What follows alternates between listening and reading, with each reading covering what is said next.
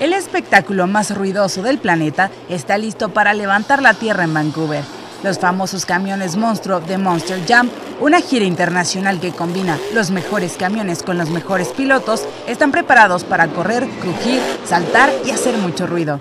El camión llamado Grave Digger fue creado hace 34 años por el estadounidense Dennis Anderson. Él y sus hijos han competido y ganado con esta feroz máquina cada 30 fines de semana al año, todos los años desde entonces.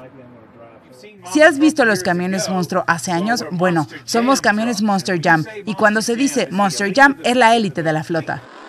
Construido en su casa de Carolina del Norte, el Grave Digger de Anderson lidera actualmente la tabla de posiciones de la gira Monster Jam. El sábado pondrán a prueba esta máquina ante la mirada de al menos 50.000 apasionados por este deporte. La emoción más grande que tengo es estar rodando hacia una gran colina frente a 60, 70 mil personas y rasgar el suelo e irme con un trofeo doble hacia abajo.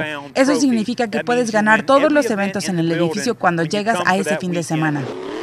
Monster Jam cuenta con decenas de pilotos y camiones únicos, con la gira teniendo lugar en distintas ciudades de América del Norte, Europa y otros lugares.